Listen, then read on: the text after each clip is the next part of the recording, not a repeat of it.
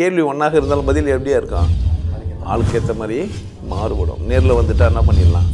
எல்லா கேள்வியும் கேட்டு தெளிவாக அதுக்கு தான் சத் சங்கம் என்னுடைய நோக்கம் எல்லாம் மனிதர்கள் எல்லாம் மகிழ்ச்சியாக இருக்கணும் அவ்வளோதான் ஆணவம் தேவை ஆணவம் விட்டு சொல்கிறதெல்லாம் இல்லை இங்கே. ஒரு அழகு இருக்குது. நான் அப்படின்றது வந்து ஒரு அழகு. ஏனை தன்னுடைய ஆணவத்தை விடாதுன்றதில்ல மதம் கொள்ளாமல் இருக்கலாம். ஆனால் ஏனை தான் பண்ணான் அதோட நேச்சர் இந்த மாதிரி சின்ன சவுந்துக்குலாம் வர முடியாது அதால். என்ன பண்ணும் அது? இடிச்சு தள்ளிட்டு தான் இப்போ ஆணவமாக செயல்படுதா? அது செயல்படுதா? செயல்படுது. உனக்கு ஆணவம்னு புரியல. நீ சரியாக செயல்படுறேன்னு சொன்னாலும் புரியல. சரியா அப்போ ஆணவமாக இருந்து தொலை. எப்படி சொல்லுவோம்? ஏன்? உனக்கு என்ன புரியல? அதான் நீ. உன் பல்லு உன் உயரம் உன் பேச்சு உன் க உன் கருத்து உன் சித்தாந்தம்லாம் சேர்ந்தது தான் யார்? நீ. அதை மற்றவங்களாம் பார்ப்பாங்க. ஆணவமாகவும் அறியாமை விட ஆணவம் அழகு. ஒரு மனிதன் ஒன்றுமே தெரியாமல் இருக்கிறத விட ஆணவமாக இருக்கிறது அழகு. முட்டாள்தனத்துலேருந்து ஆணவமாக இருக்கிறவன் ஒரு ஸ்டெப் மேலே வந்துட்டான். ஆணவத்தை விட்டவன் அதுக்கு அடுத்த ஸ்டெப் போகிறான் ஸோ ஒரு இடத்துல ஆணவம் சொல்கிறேன்னா ஒன்றுமே இல்லாத முட்டாளுக்கு என்ன சொல்கிறேன் கொஞ்சம் ஆணவமாச்சும் இருங்க பாஸ் இல்லை? உடனே உனக்கு ஜாதி திமிர் வந்துடும் இல்லை ஜாதி தாழ்வு மனப்பான்மை வந்துடும் அது அவன் பிரச்சனை. அதை அவன் பிரச்சனை. அவன் ஆணவத்தை எப்படி எடுத்துன்னு போகிறான்றது ஒன்று இருக்குது. ஆனால் அறியாமலேருந்து ஒருத்தர் விடுதலை அடையினா என்ன செஞ்சான் அவன். ஒரு துணிச்சல் வேணும். ஒரு செயல் செய்யறதுக்குன்னா வேணும் ஒரு அப்போ ஆணவம் ஓகே.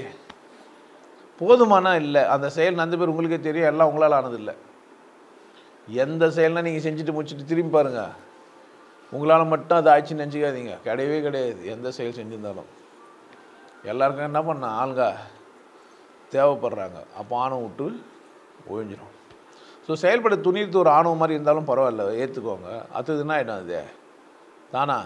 புரிய வரும்போது உதிர்ந்துடும். சரி புரிய வந்தவனுக்கு உதிர்ந்ததுக்காக சொன்னது. ஸோ முரண்பாடு இல்லை. அகங்காரம்ன்றது ஒன்று இருக்குது. ஆணவம் இல்லை அது வார்த்தைக்கு பேர் அகங்காரம். அகத்தை அலங்காரமாக வச்சிங்கன்னா அது பேர் அகங்காரம். அகத்தை அலங்கரிச்சிக்கணும்.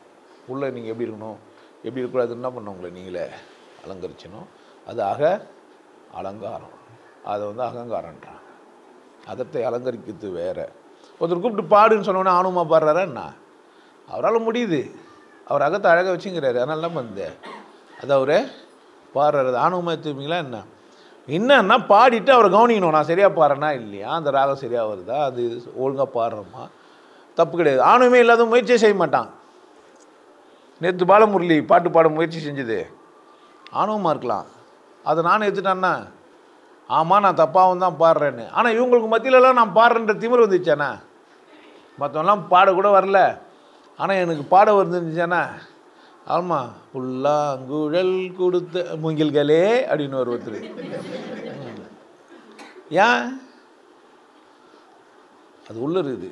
ஸோ துணிச்சலுக்கு ஆணவம் தேவைப்படுது. அப்புறமா என்ன பண்ணலாம் அதை? எடுத்துடலாம். இல்லைன்னா அஞ்சோட பத்தோட பானோன்னா வந்துட்டு சும்மா கும்பலோட கும்பலாக போயிடுவீங்க. அதான் மதியம் நீங்கள் வந்து சொன்னால கொஞ்சிப்பேன். அந்த மாதிரி ஆகிட்டு நான் இன்றி போவதே நன்றி உணர்வு என்பதை விரிவாகவும் தெளிவாகவும் நம்ம எல்லாருக்கும் புரியும்படியும் பதினாறு தலைப்புகள்ல கொடுத்திருக்காரு. என் பிரச்சனைகள் இவை அப்படின்னு சொல்லி நீங்க ஒரு பட்டியல் போட்டுட்டு இந்த புக்கை படிக்க தொடங்குனீங்கன்னா இந்த புத்தகத்தை படிச்சு முடிக்கும் போது உங்க பிரச்சனைக்கான தீர்வும் தெளிவான சிந்தனையும் உங்களுக்கு கிடைக்கும். இந்த புற அடையாளங்களை வச்சு நம்மளை நம்மளே பத்தி தெரிஞ்சுக்க முடியுமா அப்படின்னா கிடையாது. அதுக்கு ஒரு சரியான வழிகாட்டுதல் தேவை.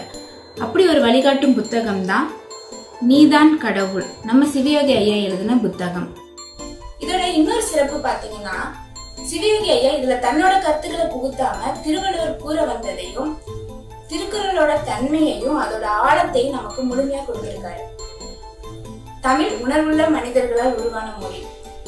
தமிழ் மொழியை நம்மை பிறக்க வைத்த கடவுளுக்கு நன்றி சொல்வோம் இந்த புத்தகத்தை படிக்கும்போது உணர்வோட படியுங்க. மனிதன் முழுமை அடைவதற்கு ஒரு நூல் அப்படின்னு பாத்தீங்கன்னா அது திருக்குறள் அது மிகையாகாது. மனித நாகரிகத்தின் உச்சம். நன்றி வணக்கம். நல்லா இருங்க. சிறப்பாக இருங்க. கொண்டாட்டமாக இருங்க.